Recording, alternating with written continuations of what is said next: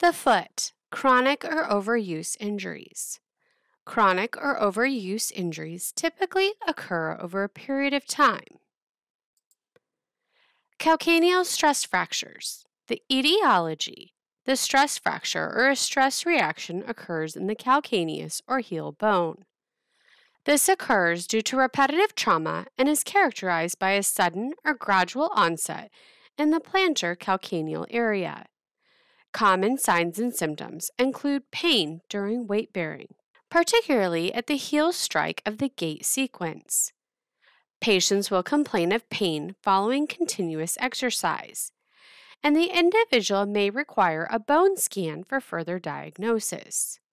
Stress fractures will not always appear on x rays, particularly when they're fresh. Most of the time, a stress fracture has to be in the healing phases of the injury in order to be seen on x ray, so bone scans are better analysis techniques. The management is conservative for two to three weeks, including rest and active range of motion exercises.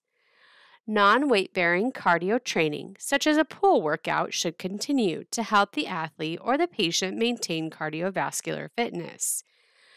As the pain subsides, activity can gradually be returned.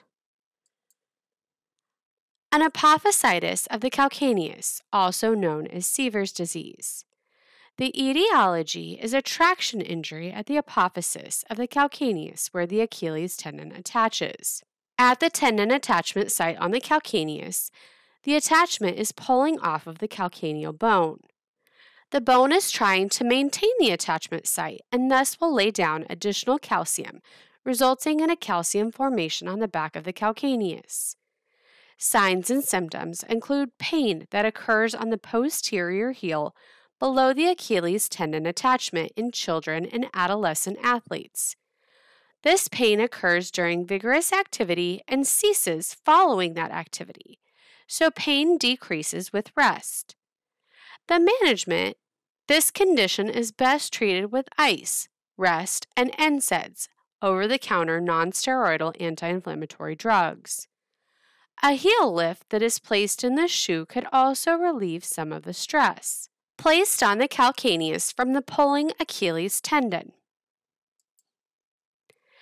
Retrocalcaneal bursitis, the etiology. This is an inflammation of the bursa beneath the Achilles tendon. A bursa is a fluid filled sac that decreases the tension and the stress of tendons and muscles as they slide over bony structures. In a bursitis, the bursa swells. This results in increased pressure and rubbing of the shoe heel counter on the heel. This can develop into a chronic condition that develops over time and may take extensive time to resolve.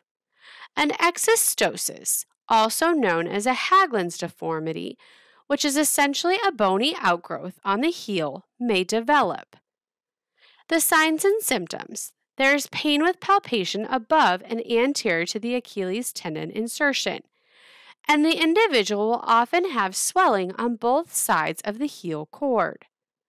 The management is use of NSAIDs as needed, and ultrasound can help reduce the inflammation.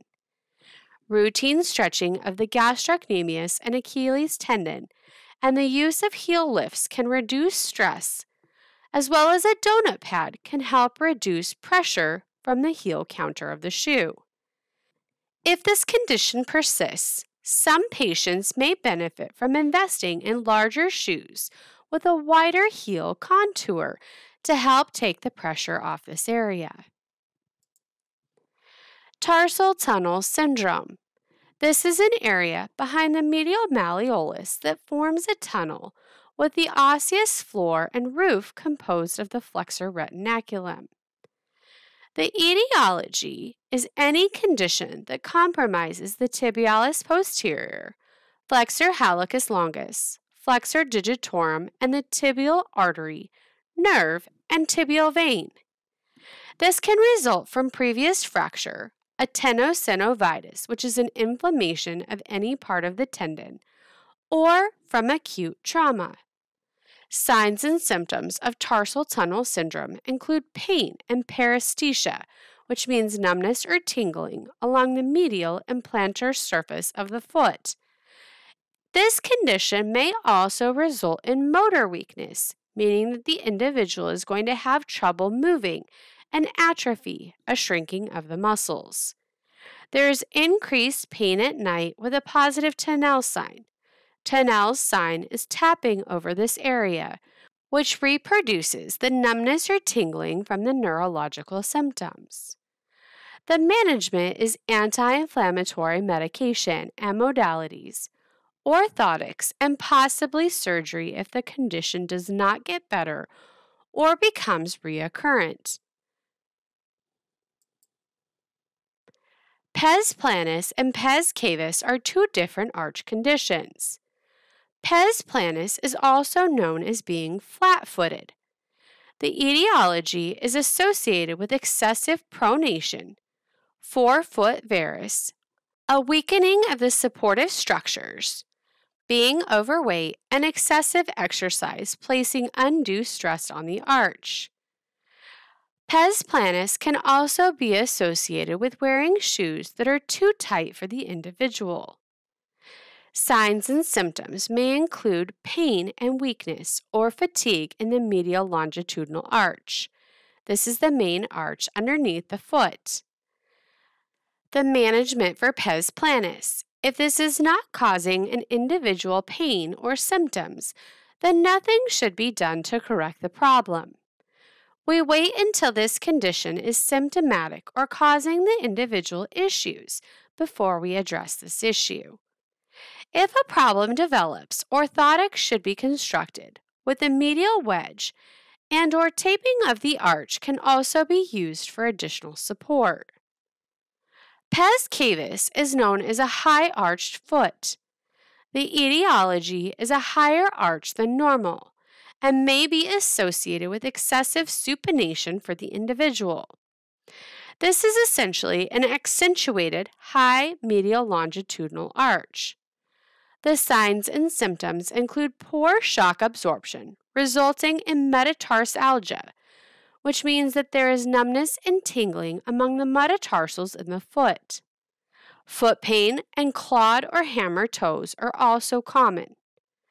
It is not uncommon for a patient with pes cavus to have a tight Achilles tendon and plantar fascia. The plantar fascia is on the bottom of the foot.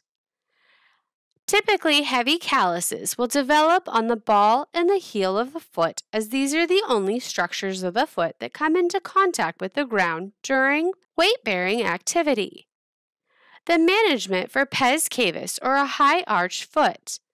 If this is asymptomatic, meaning there is no symptoms and is not bothering the patient, then no attempt should be made to correct this condition. If this condition is bothering the patient or is symptomatic, then orthotics should be used if problems develop, typically involving a lateral wedge. Stretching of the Achilles tendon and the plantar fascia can be extremely helpful. Morton's toe. In Morton's toe, there is an abnormally short first metatarsal, which makes the second toe look longer. More weight bearing then occurs on the second toe and can impact gait, as the toe off then frequently goes through the second toe instead of the big toe. In cases such as this, it is common for stress fractures to develop in our patient. Signs and symptoms may include the patient complaining of pain during or after activity with possible point tenderness over the fracture site. Bone scans could be positive for a fracture, especially a stress fracture. A callus will frequently develop under the second metatarsal head as more pressure is placed through this area. If there are no symptoms for the patient, then we leave this alone and nothing should be done. If it is associated with a structural forefoot varus, then orthotics with a medial wedge would be very helpful for our patient. Plantar fasciitis. This is a common issue for athletes and non athletes alike. This can be attributed to heel spurs, plantar fascia irritation, and even bursitis. Plantar fasciitis is a catch all term used for pain in the proximal arch and the heel. The plantar fascia is a dense, broad band of connective tissue that attaches proximally to the medial surface of the calcaneus and fans out over the plantar aspect of the foot to the metatarsal heads. This works to maintain the stability of the foot and bracing of the longitudinal arch. For the etiology, there is an increased tension and stress that is placed on the fascia, particularly during the push off phase of running. There are many reasons why plantar fasciitis could develop. Some of them may include changing from rigid supportive footwear to flexible footwear, poor running techniques, or even conditions that include things like leg length discrepancies, excessive pronation, an inflexible longitudinal arch, and even a tight gastrocnemius or soleus complex. Individuals will frequently report signs and symptoms with associated pain in the anterior medial heel. Many will complain of increased morning pain, which lessens after the first few steps out of bed in the morning. There is also an increased pain with forefoot dorsiflexion. The management for plantar fasciitis is extended treatment and may last for 8 to 12 weeks. Orthotic therapy can be useful to help support the plantar fascia. Simple arch taping and the use of a night splint with the foot in a dorsiflex position can maintain a position of a static stretch, which decreases the stretch on the foot when the patient steps out of bed in the morning. Vigorous Achilles tendon stretching and exercises that increase great toe dorsiflexion can be helpful. NSAIDs and occasionally steroidal injections are sometimes used to address this condition. Metatarsal stress fracture. Any of the metatarsals can be fractured as a stress fracture. However, the second metatarsal is one of the most common. This is also known as a March's fracture. This is usually from a change in running patterns, an increase in mileage, running hills, or running on a harder surface than normal. Many individuals that have this type of condition have a forefoot varus, hallux valgus, flat footedness, or a short first metatarsal. Fifth metatarsal fractures happen at the insertion point of the peroneus brevis muscle. Signs and symptoms of metatarsal stress fractures. Over two to three weeks, the patient will develop a dull ache that occurs during exercise, and it progresses to pain at rest.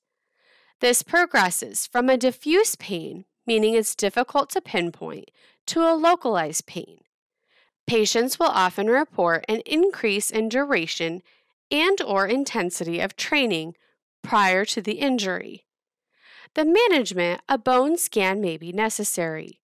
Typically, two to four days of partial weight bearing is followed by two weeks of rest. We then return the individual to running, and that should be a gradual return. Orthotics should be used to correct any excessive pronation that the patient has. Bunions. A bunion is also known as a hallux valgus deformity. The etiology an exostosis, or bony outgrowth, occurs in the first metatarsal head of the foot. This is associated with forefoot varus.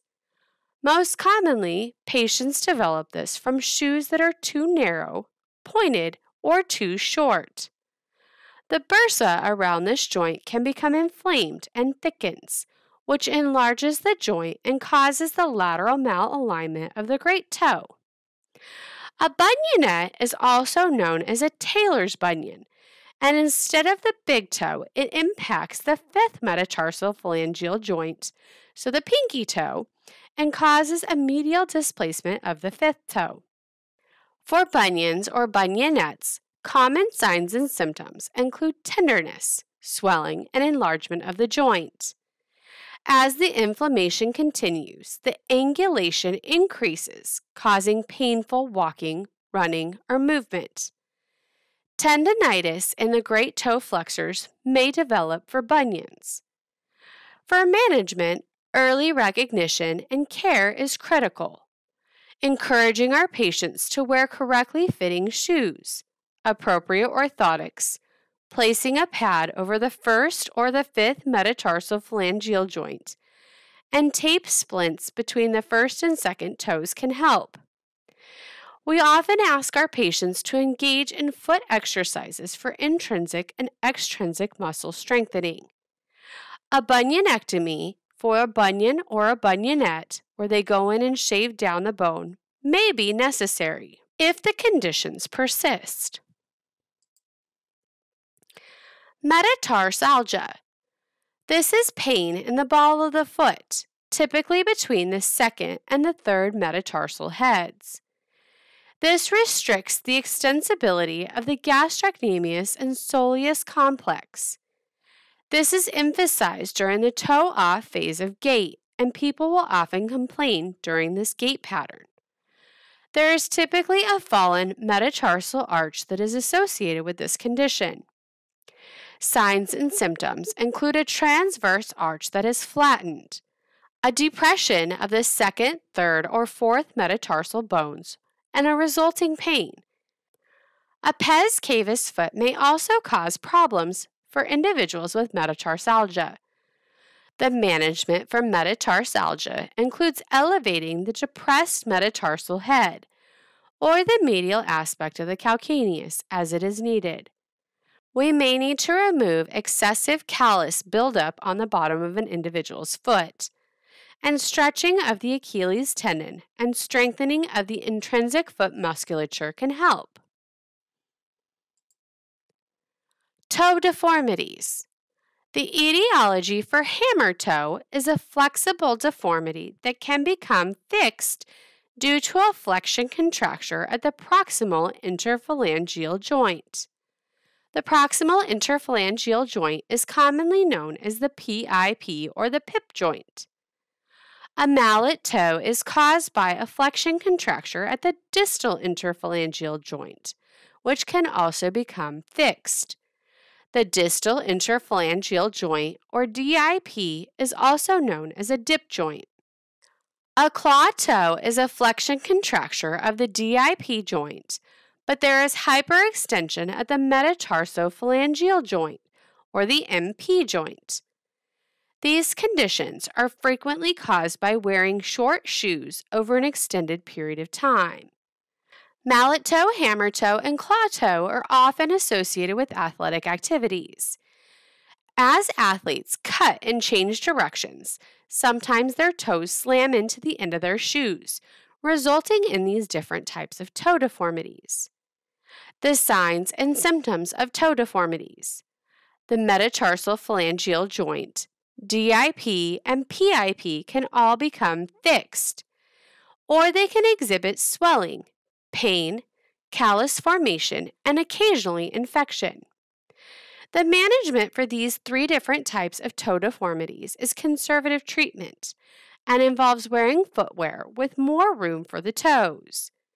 We can use padding and taping to prevent irritation. Shave off any excessive calluses. Unfortunately, surgery is the only way to correct these types of conditions.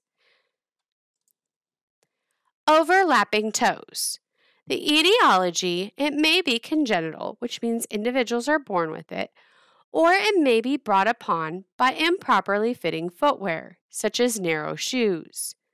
Signs and symptoms include the outward projection of the great toe articulation or a drop in the longitudinal arch. The management for overlapping toes is similar to toe deformity, and unfortunately, surgery is the only cure to fix an overlapping toe.